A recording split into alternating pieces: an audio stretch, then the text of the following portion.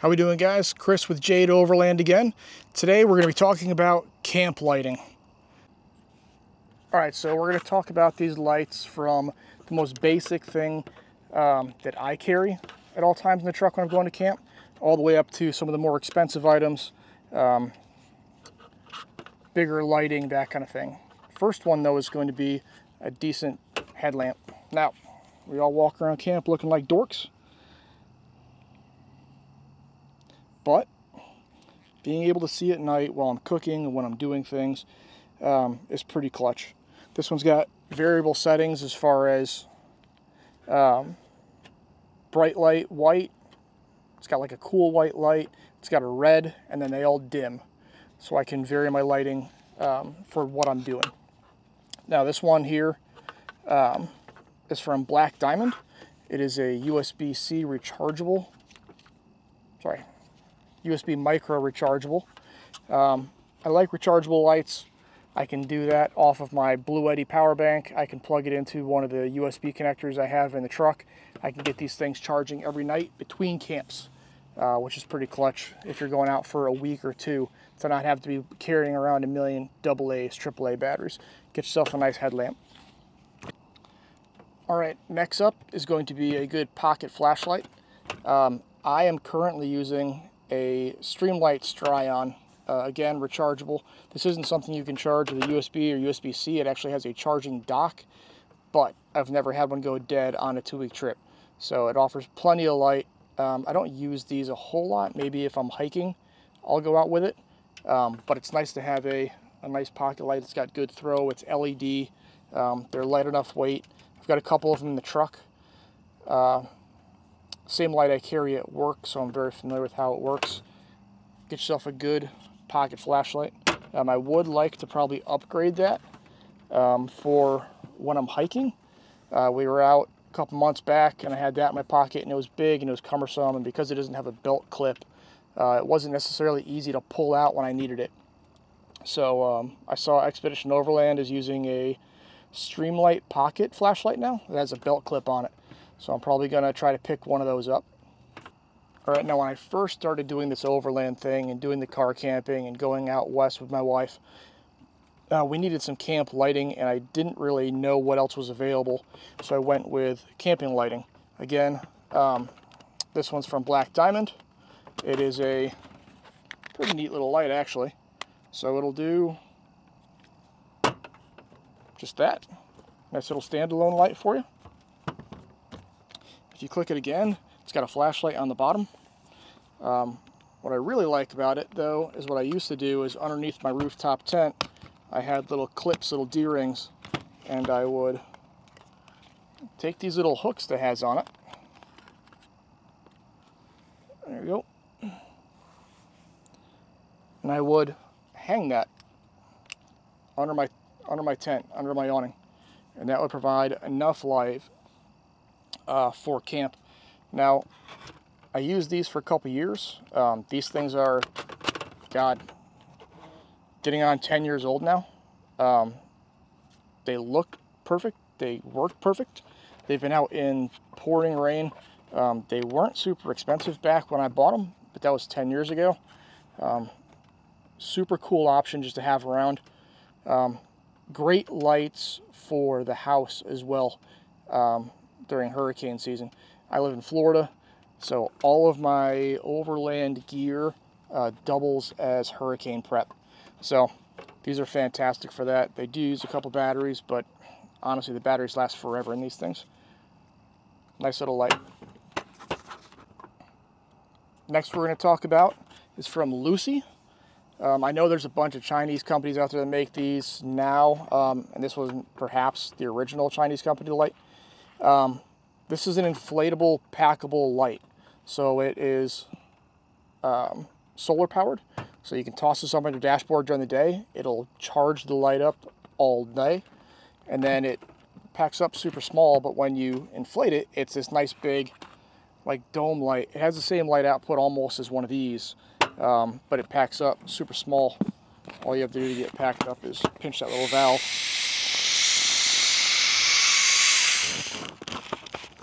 crush it down, and now that's the entire thing. It's like a four inch round, toss it up on the dashboard, let that thing charge up all day. Next one we're going to talk about is from Luminoodle. Now I got this one um, a little bit after I got my black diamonds. Um, what I did find in my lighting for camp was that with this white light, um, it's very good, usable light. It's easy to camp, it's easy to cook, it's easy to see what you're doing. However, um, like you're probably seeing in some of the video here, I camp where there's bugs, uh, and white light is really drawing bugs in. So I like to have other lighting options when possible. If I'm cooking and I need it to be bright, uh, I can do that, but really, I use my red light more than anything. I use red and amber in camp for just about everything, just because it keeps the bugs down. So I got a Luminoodle to try out when they came out. And all it is, is literally it's on a little spool. that's all it is. Um, this little thing will magnet up to the side of the truck. So I used to put it along the top edge of the truck right above the windows, just magnet it up there, and then you can do all kinds of stuff. Um, you could do party lights with it. Um, it does the regular red, blue, green. Uh, the blue and green are nice to keep your night vision. Um, the red is what I really like, and that would be enough up on the side of the truck. Shine down here. In between that and my headlamp, I had enough light for my cooking space without drawing in bugs. Um, kind of cool. You can do all kinds of fun stuff with it though. I said it'll do party lights, it'll strobe, it'll do all kinds of neat stuff. Um, these are super cheap. Um, I power them off of a power bank. So I just have uh, an Anker power bank and I would just magnet this thing up to the truck, throw the power bank on the roof, um, didn't get wet and it was perfect. These are waterproof, the power bank is not. It does, however, come with its own power bank that is, um, and the power bank itself just magnets right to the truck as well. So, eat nice and easy. Pretty cool. Um, I don't really use this anymore. It's again one of those things I have now for hurricanes, just in case. Um, I can slap that Anker power bank up, put this on the kitchen counter, and then light up the entire kitchen, and it'll run off that Anker for a week. Um, it draws no power. It's all LED, um, and I have multiple color options. Really like it for what it is. Um, helps keep the bugs out, like you're seeing right now. I'm getting eaten alive. Um, very cool little light. All right, like with everything we do with overlanding and camping, the more you get into it, the more you progress into um, that genre of travel, uh, the more expensive your gear tends to get. So we're going to start getting into some of that stuff now. Um, I have a secondary headlamp that stays in the truck at all times. Uh, this one is from Streamlight. That is the ProTac. Um, this is a USB rechargeable as well. This one is super bright though compared to my other one. Um, you'll see instead of having just like the uh, around the headband, this one actually goes like up and over. Um, I usually wear this one with a hat because it does have some pretty good weight, but it's got incredible light output. So it's got a diffuse filter. If you take that off, it's got a spot. Um, very, very bright. I use this when I do night hiking. Uh, all right, next up is one of my favorites. So these are from Hardkorr, K-O-R-R. So you can see that real quick. Hardkorr lights. Um, I've had a few of their light kits. I had one under my old awning that was a string light that plugged into my, uh, my power bank. Um, these, though, I've been using for years. Uh, it's an Australian company. They have these little uni lights. There's four of them that comes in a pack. And these things are awesome. Um, full USB rechargeable. Uh, I happen to have my Dometic fridge in the back, so after camp every night, um, I'll take these all down. I will string them all in. It's on one plug, so one plug into the back of my fridge, and it'll charge all the lights up. And these are cool because they have multiple functions. Ready? So they have a bright white, a couple dimming, and then they have an amber. The amber I really, really like. Um, again, the amber over top is what I'm normally running in my awning, which we'll talk about in a minute. But the amber lights are awesome. A lot of light coming off these things. um, and they don't attract bugs. Now another cool feature about these lights is they have multiple ways you can mount them. So how I had them on my old awning, as you can see here on the back, it's got this little bungee cord. So all I would do, that's a close coyote. That's a whole bunch of close coyotes.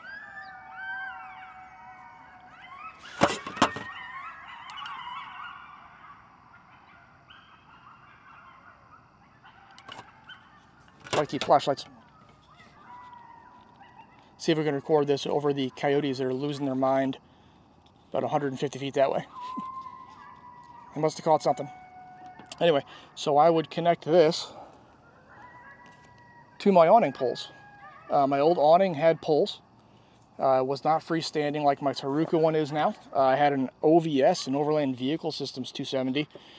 Great awning. Served me very, very well for uh, several years.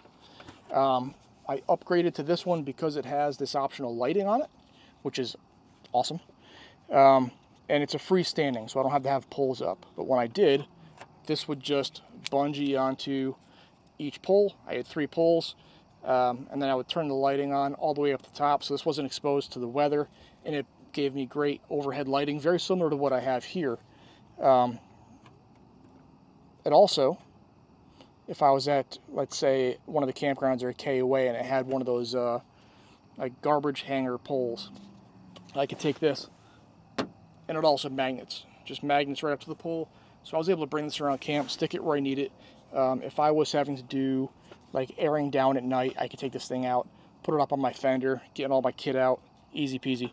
Um, and with four of them, you have them for all over the place. I'd usually put three on the awning, and that fourth one actually goes up in my rooftop tent. I'd get bungee corded up into the netting on the top of the tent, and that's when I got in. I'd have my own roof light up there. My tent does not have any lighting inside of it right now, so I was using these. Um, I have had these for a long time. Uh, I have purchased the set from my dad because he is also a big avid camper, um, more so than me. Uh, a couple of my buddies have gotten these lights, Hardkorr. I am not sponsored by any of these light companies, by the way. Um, I just rock some pretty neat gear that I've found over the years. Um, cool lights. Uh, if I was going to get one camp light, uh, these are super handy. All right, one of the last companies we're going to talk about for lighting for camp uh, is a new one to me. Um, a couple of my buddies recently were getting into me like, hey, you got to check these out. Um, I have really good lighting here under the canopy. I have good lighting in my tent. Um, so my actual area here is really well lit and it's awesome. Um, but we get into some of these bigger campgrounds or these bigger camp spots and we want to have more lighting for the scene. Um, meaning when we roll into camp and we're setting our awnings up and we're setting our tents up, but we got in super late and it is dark. Um, it's nice to have a light that extends up on the pole and throws a ton of light. And enter Devos. That's the company right there. And they've got some options for that. Um, now, behind the camera, I have a Devos 1200. Um, it throws 1200 lumens of light, and I can put all kinds of filters on it. Uh, they make a filter kit for it for amber, which is the one I run usually. Um, they have a red filter, which is good for, again, keeping bugs out, but it's a little bit dimmer and they have a yellow filter, um, which I have yet to figure out what to use for. Um, I know yellow lighting is usually for like inclement weather and snow when it comes to like forward projecting lights on your vehicle, but as far as camping, I don't know. Um, haven't used it, not a big fan of the yellow, but the amber is awesome. Um, I also have that light in a 800 version.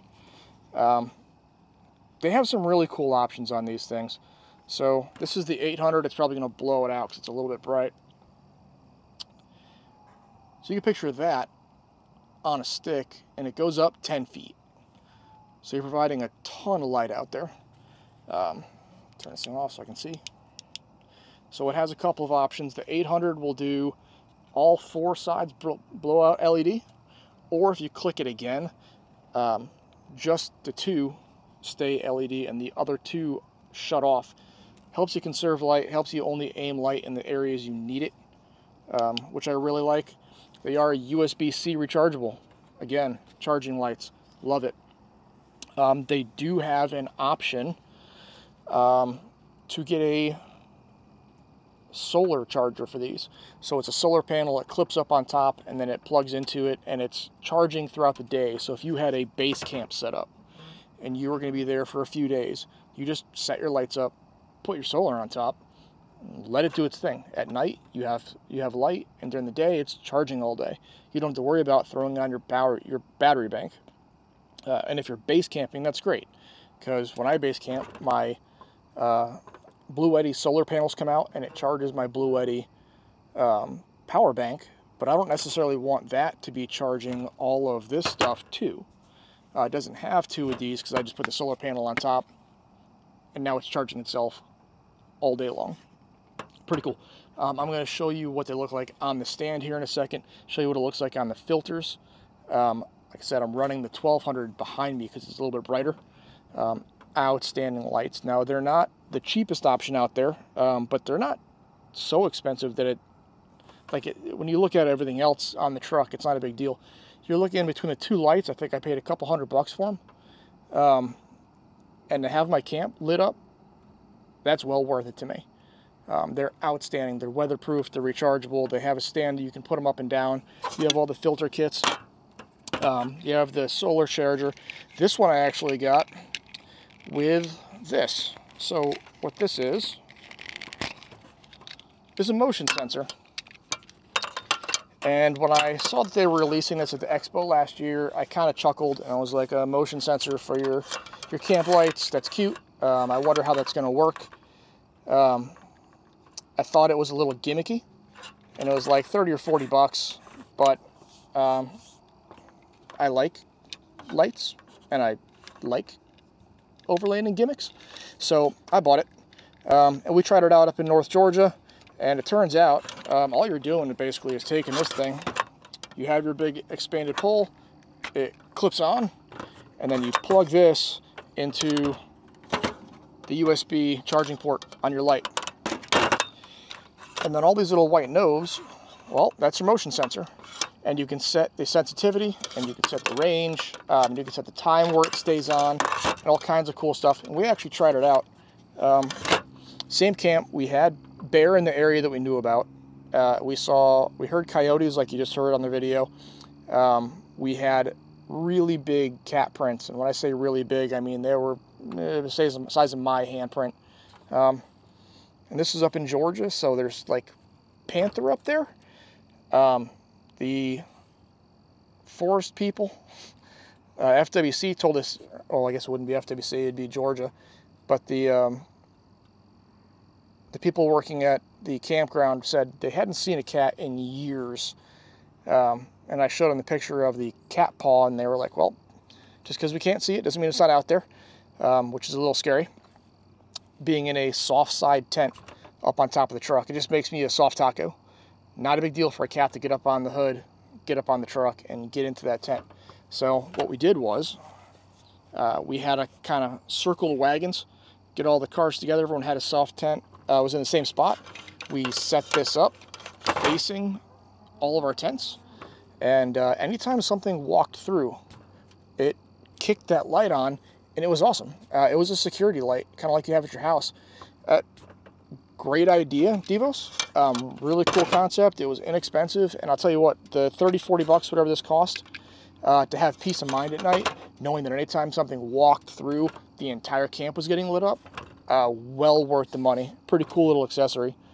Um, said I didn't think it was going to be as cool as it is. Thought it was just going to be a gimmick, but very happy I got that. All right, now on to my overhead lighting. Um, you see it's on uh, one of its settings right now. It's got a couple settings. Uh, one is amber, one is going to be this like yellowish light, more of a natural light, and then one is going to be this super white. Um, you can see what's happening because I'm running the white light right now or the yellow light is that I am attracting a ton of bugs. I'll turn those ambers on and all of a sudden the bugs are gonna go away. I run these ambers a lot more than I do any white light in camp just for that reason. Um, one, I really like the light output it has, uh, but two, the bugs went away right away. Um, you can see them as soon as I smack the top, how many were in here and how many are gonna be rolled up in this bad boy when I uh, close this up tonight. Um, but this allows me to come back here. This allows me to do all my cooking. Uh, I have my table here and I can do everything in the back. Um, go up to the front, I can eat, I can do all of that uh, under light. This has been a game changer for me. Um, buying an awning with its own lights that all I have to do when I get in there is plug it into my battery bank. That's awesome. Um, very, very helpful. All right, now we're gonna talk about this Devos light. Again, this is the Devos 800. This is the smaller light, uh, the less output light. The bigger one is sitting over there so you can actually see me. I've got it running on one light and that's lighting me up and I'm 10 feet away from it. Thing works great. Um, this is on a like camera tripod. So just loosen that little knob, set your legs down, then you just extend it.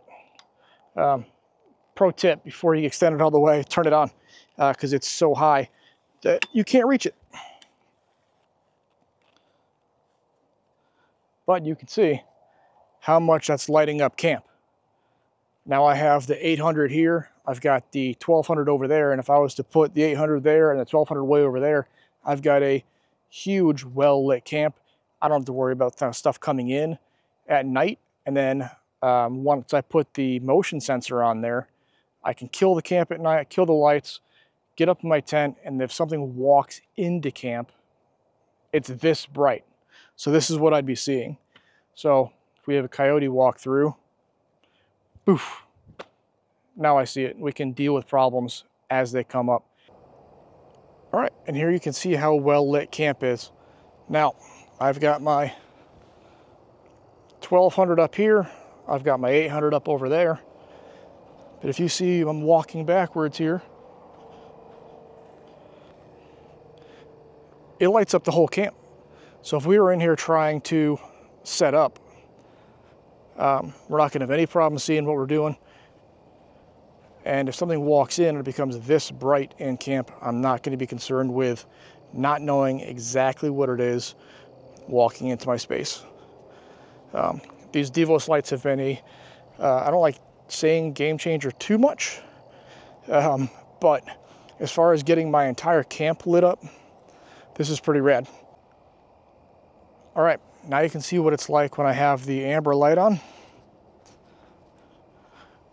Again, huge amounts of light being put out, but it's all in amber and you're seeing much less bugs all of a sudden.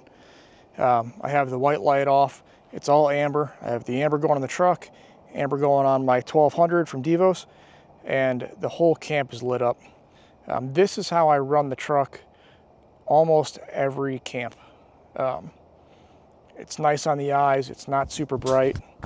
Uh, I have good lighting. I can actually dim or make the Devos brighter as well. So if this was too bright for me, um, I was going to be bothering my neighbors or whatever. Uh, I try not to camp where there are neighbors, but sometimes it's unavoidable. Um, this is the setup, and I really like it. All right, guys, that's all I have for you today. Um, covered kind of the gamut as far as camping lighting goes, um, wearable headlamps, pocket carry flashlights, magnetic mount lights to the truck, awning lights, scene lighting, uh, kind of covers all of it. Um, if you have something cool out there that you know of that I don't, please let me know. I'm always down to try something new. Um, again, none of these products are sponsored. So this is just stuff that I found over the years that I really like, that I've been using and that I trust. Um, there's been some stuff out there that I haven't liked and I didn't mention them because they're not worth buying. Um, but I think all of this stuff is really good. It's all got its uses. Um, again, all of my stuff down here for overlanding also applies to being prepared for storms. So all of this stuff can be used for hurricane, um, which is kind of a, secondary justification for me spending as much as we do on all of our overlanding gear. Um, storm comes in like we tend to get here once or twice a year in Florida. It's really nice to be able to see at night if I had to go outside and work on the house, if I had to just see inside of my home. Um, I have enough lighting from camping where I can do that and be just fine. If you liked any of the products that I'm putting in the video, look below. I'm going to have links. Uh, apologize for mosquitoes all over the light. It's just what it is right now. Um, yeah, there'll be links in the bottom for all the products that I have out here, the Hardkorr lights, the Devos lights, um, the filter kits and all that are from Devos too. Um, the uh, black diamond lighting, just go to their website. They have all kinds of newer stuff. Those uh, those lanterns are pretty old. I don't think you can get the same ones anymore, but I think they're now just plug-in rechargeable, which would be even better. Um, if you like the awning, you like the lighting on there, that's from Taruca. Um, that is their Extreme Darkness 270 awning. Um, it is my new awning. I love it. Aside from the lighting, it's just a super nice awning, super fast setup, which there is a, uh, a video of how this whole thing sets up. Um, that was shot in hyperlapse, so it only takes like two seconds for you to watch it, but pretty cool. Again, if you liked the video, please hit that like button. If you want to subscribe, that would be much appreciated. Um, you can follow me on Instagram too under the same name. And uh, if you have something you think I should try, again, reach out, let me know. We'll give that a shot and we'll do maybe a, a comparison video between something that I have currently and whatever you're pushing out. All right, until next time, be safe.